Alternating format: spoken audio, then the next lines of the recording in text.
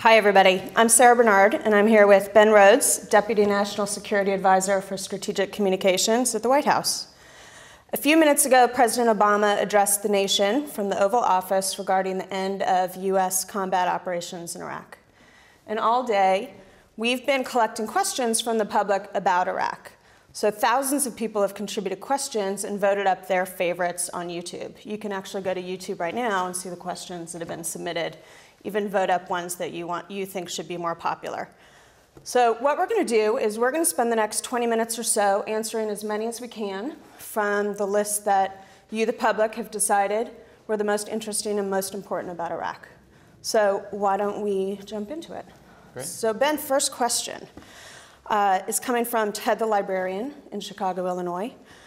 Are there still U.S. military bases in Iraq? If so, how long will U.S. troops still be in Iraq? And when will all of the troops leave? Great.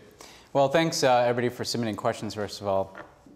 And uh, thanks, Sarah, for hosting this. Um, it's a great question, Ted. Um, just to put things in perspective, uh, when this administration took office, there were nearly 150,000 U.S. troops in Iraq. Uh, as part of the responsible drawdown that the president announced in February 2009, we have since removed nearly 100,000 U.S. troops from Iraq over the course of the last 18 months. So this has been an extraordinary uh, redeployment of our uh, military men and women out of Iraq over the course of the last 18 months that has gotten that number down from about 150 to under 50,000 U.S. troops who are in Iraq today. Uh, you mentioned bases. We've also transferred hundreds of bases. We had basically set up bases around the country. We've closed or transferred hundreds of those bases to the Iraqis. What remains in Iraq today uh, is uh, roughly or under 50,000 US troops. Now, the mission, as the President said tonight, has changed. Uh, in the past, the United States had responsibility for security in Iraq. What we've done over time is gradually transition that to an Iraqi lead.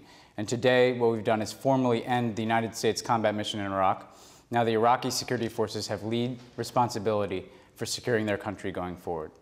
The troops that remain today uh, are going to perform some distinct functions over the next several months. First of all, they're going to continue to advise and assist Iraqi security forces. We've trained the Iraqi security forces and equipped them. And that training, that advising is going to continue even as Iraqi security forces are the ones that have responsibility for securing the country. There's also going to be the ability of our forces to support Iraqis as they carry out counterterrorism missions. And this is important. The Iraqis will be in the lead. Uh, we've seen, for instance, in recent months, um, targeted counterterrorism operations that take out leaders of Al Qaeda in Iraq, which is the main terrorist organization there that continues to try to set off bombs. The Iraqis will be in the lead in those operations, but we'll have the capability of supporting them uh, with our forces that are there. However, over the course of the next year and a half, uh, we will continue to move our troops out of Iraq. We have an agreement with the Iraqi government that was reached in 2008 to remove all U.S. troops from Iraq by the end of 2011, by the end of next year. So based on that agreement, we're planning to draw down from the 50,000 that are a transitional training and advising force right now, down to zero at the end of 2011, at which point there won't be U.S. troops in Iraq. Thank you. Let me ask you a, a, question that probably pertains to after 2011. This is coming from DJ in Massachusetts. If Iraq descends into chaos and violence again, uh, what will be the U.S. response? Well, what's happened uh, over the course of the last several years is that the incidences of violence in Iraq have continued to go down. Um, the levels of violence in 2009 were less than in 2008. The levels of violence in 2008 were less than in 2007. So there's been this steady trajectory to the point that now incidences of violence are at record lows uh, over the course of the last several months since the war began. That doesn't mean, though, that there's still not violence in Iraq. There is. Uh, we see occasionally uh, terrorist attacks against the Iraqi people. However, we believe that the Iraqi security forces have demonstrated the capability to hold these security gains that have been made over the last months and years as they move into the lead. So we believe that there's not going to be a vacuum in terms of providing security because the over 600,000 Iraqi security forces who are there have that capability. Now, it's still important for work to be done in Iraq, both in terms of those security forces continuing to get better, but also in terms of the Iraqis forming a government and resolving their outstanding political issues. We're confident that Iraq won't descend into chaos. Um, however, this transitional force that continues to advise and equip Iraqi security forces uh, is there to support uh, the Iraqi security forces and the Iraqi government. Again, to serve as a force that can buttress them, uh, that can continue to provide them with uh, logistics and intelligence and other kinds of training and equipping that can help them, again, hold these security gains. So we don't anticipate the scenario you, uh, you outlined, but we also have built in to our, our strategy this buffer period of time, this transitional period of time, where our troops are there uh, to serve as support for the Iraqis as they continue to hold these security gains down. And again, that allows us to go on a counterterrorism mission if the Iraqis need our support uh, to target an Al Qaeda and Iraq leader. Uh, we believe that uh, we have the force necessary to support them in that effort. Um, similarly, uh, we'll continue to strengthen our civilian engagement within Iraq. Because what's so important now is that the Iraqis begin to, will continue to build their civilian institutions and continue to resolve their problems. And really, the purpose of our strategy is to leave Iraq in a place where they can manage their own challenges and they can manage their own security. And we're confident, frankly, that they can do that. And that if there are outbreaks of violence, the Iraqi security forces can do that. And that's really what the president was talking about tonight a transition from the United States having responsibility for security to Iraqis. Uh, and we're confident that we can uh, support them as they do so and sustain those gains even as Iraq faces enduring challenges. Next question is coming from uh, SDWW in Portland, Oregon. Uh, he notes that President Bush indicated that the cost of this war would be paid by oil revenues from a liberated Iraq. How much has been received, and what are the plans to recover our costs? It's a, it's a good question, and uh, Portland is a, one of my favorite cities, I'll just say. Um, hope to get out there sometime uh, soon. But uh, it's a good question, and clearly, uh, Iraq's oil revenues did not pay for the cost of the war. I think there were some um, overly optimistic scenarios that were put forward before the war. Um, the war has already cost American taxpayers um, well over uh, roughly three quarters of a trillion dollars. Um, so that's money that we spend in Iraq. And part of what uh, the president was saying tonight is that one of the reasons to wind down the war in Iraq is because we need to start reinvesting those resources here at home um, that there's a huge cost to fighting these wars. And we believe that ending the war is in Iraq's interest because Iraq ultimately needs to be responsible, responsible for its own country and, and their own security. Um, but part of what we're trying to do is to draw down the amount of resources that we're committing to Iraq and focus, uh, again, those resources on other national security priorities and uh, on our economy here at home. Uh, as it relates to oil revenues, uh, that's part of what this transition is, that we're uh, pressing the Iraqis, uh, again, to, to, execute their own budgets, to pay, pay their own way, um, to pay for their own basic services, and they've, been, they've begun to do that. And in fact, we've seen some of those oil revenues that you mentioned come online, and they serve as a primary source of revenue for the Iraqi government. So uh, it won't recover the cost of, of the war, um, but it will uh, fund a lot of the efforts of the Iraqi government going forward. And that's, again, part of this transition, where the Iraqis are going to be picking up the bill um, for their own security, uh, for their own governance. We'll be there as a partner. Uh, we'll continue to be engaged with Iraq. We'll continue to support them. Uh, our experts, our civilian diplomats will continue to advise Iraqi ministries about strengthening their capacity. Um, but based on those oil revenues and the Iraqi economy, um, we believe that the Iraqi government can now uh, increasingly um, take full responsibility for, uh, again, uh, governing and securing their own country. Thank you. Uh, before I get to the next question, I'd just like to say for anyone just joining now, we're taking uh, questions that you're giving to us. It's not too late. If you're online, go to youtube.com forward slash White House. Submit your question. We're picking from the most popular to ask Ben Rhodes right now. It's not too late. uh, next question is about contractors. Uh, how many contractors providing either military or other services are remaining in Iraq, and who's supervising them and holding them accountable?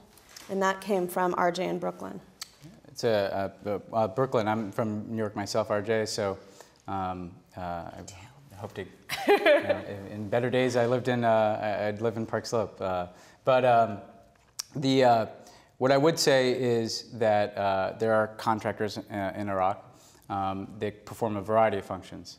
Uh, these can include functions such as um, you know, providing security um, at certain facilities, um, like uh, our embassy, for instance. Um, some of those contractors, you know, uh, provide help uh, the Iraqi government as well. Their contractors to perform functions uh, such as supporting uh, some of our ongoing uh, training efforts. What will happen uh, in Iraq going forward is uh, the State Department will move into the lead with a lot of the functions that the United States military carried out.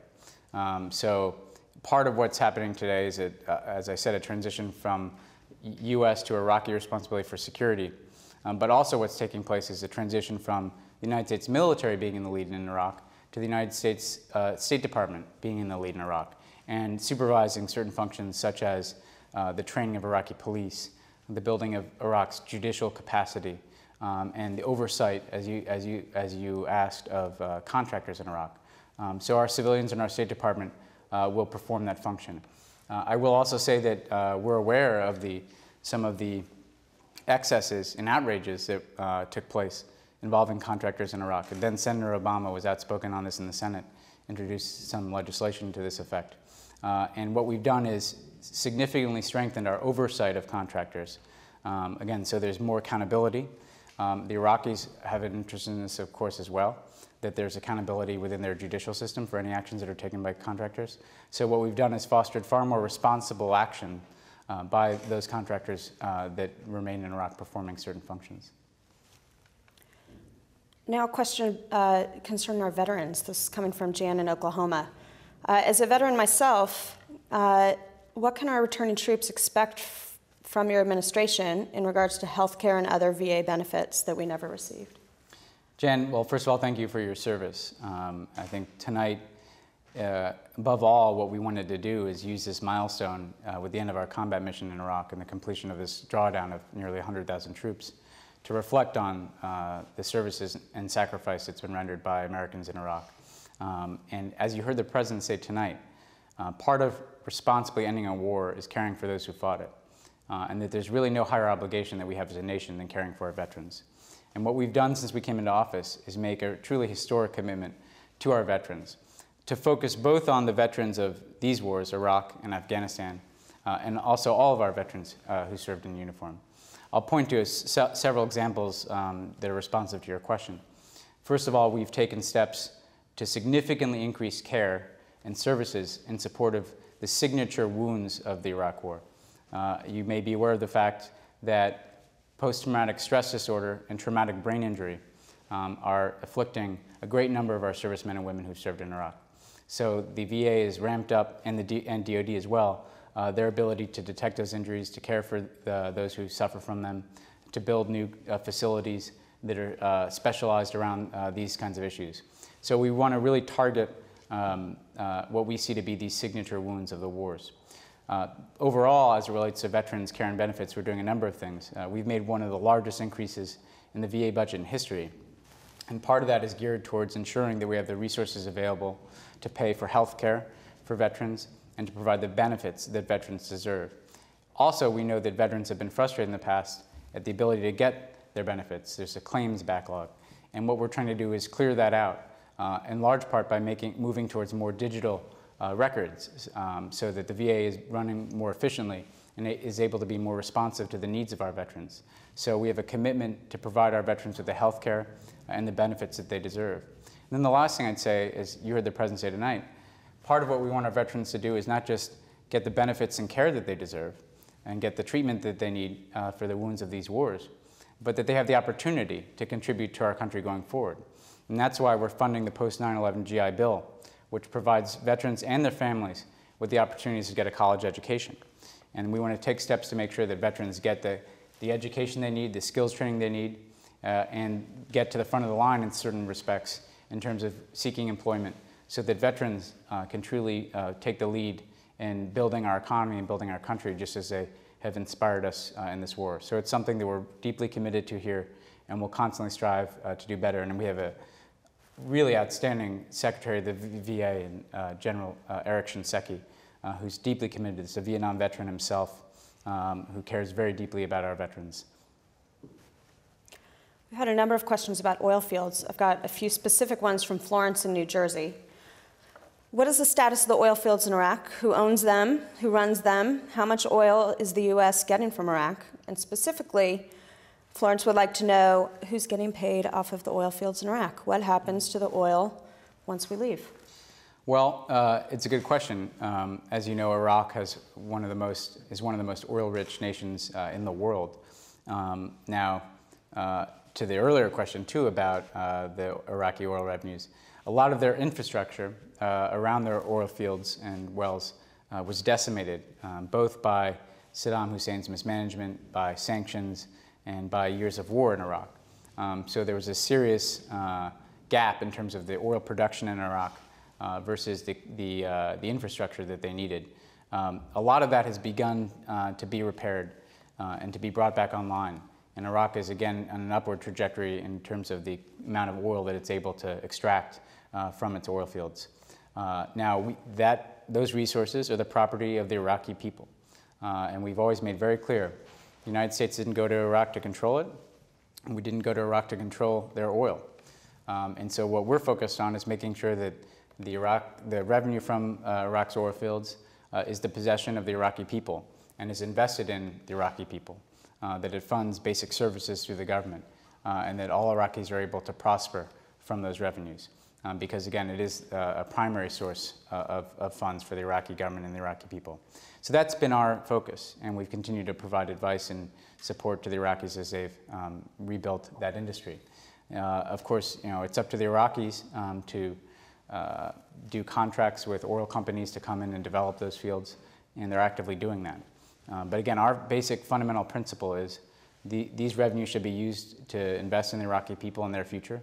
The Iraqi government shares that, that view as well, uh, and will continue to support them. And as those revenues come online, again, increasingly Iraqis are going to be able to fund their governance, their economy, uh, and their people going forward.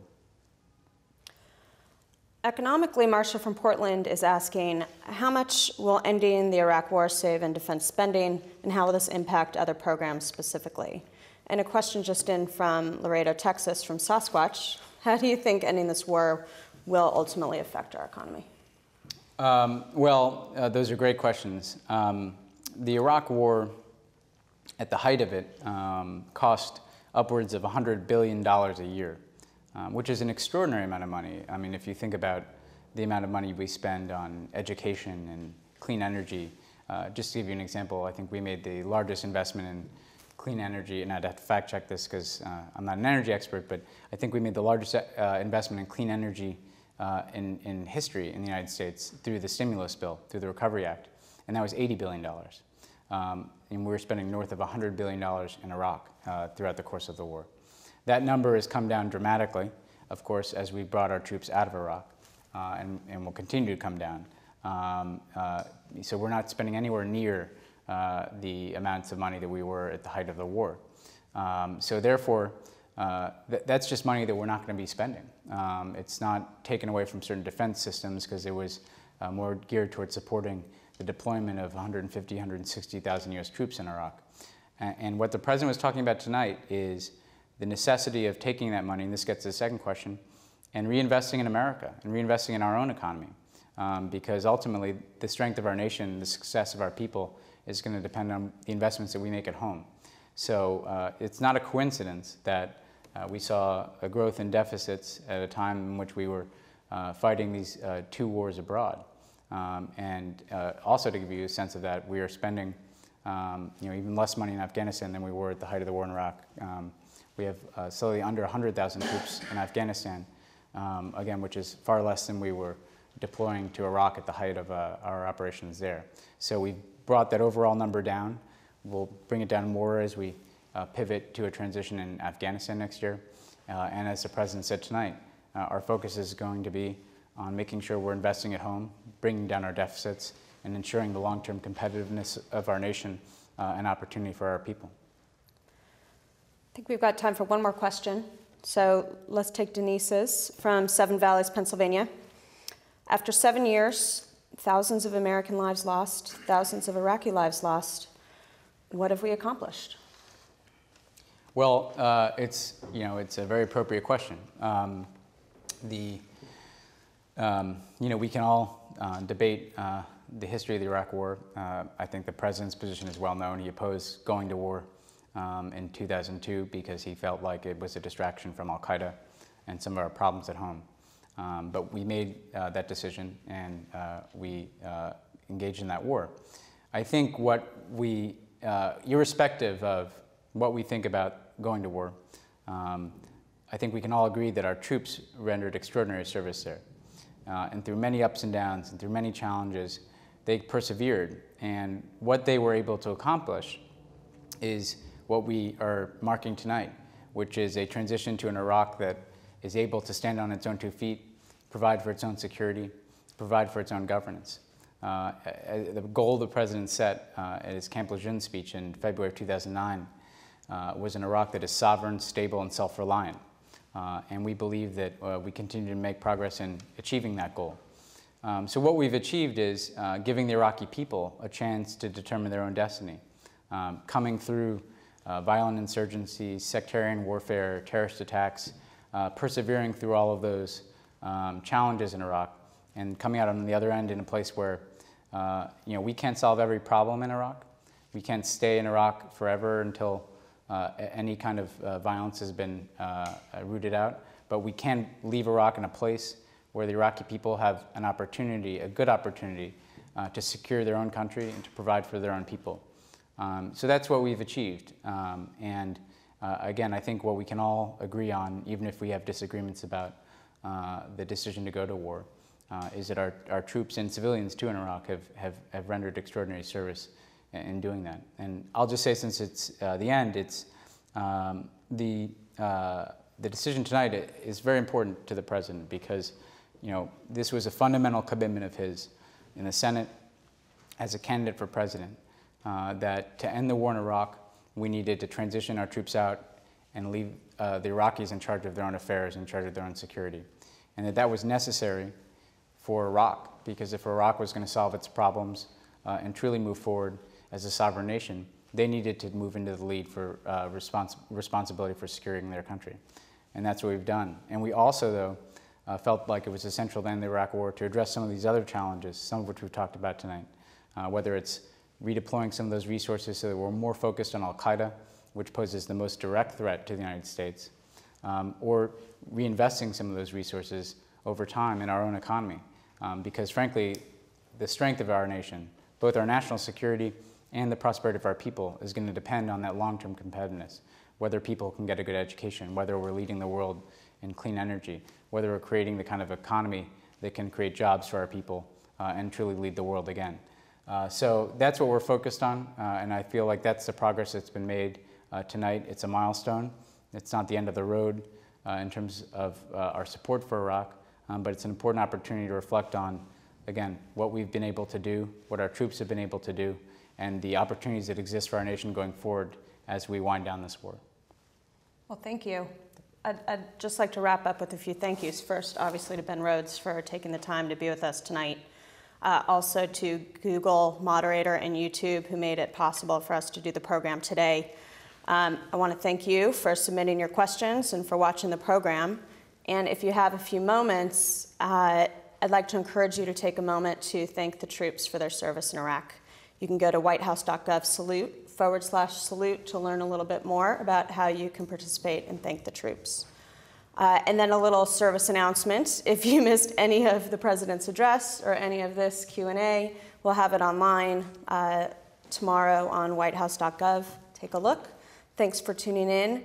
Have a good night, and we look forward uh, to continuing the dialogue. Bye. Thank you.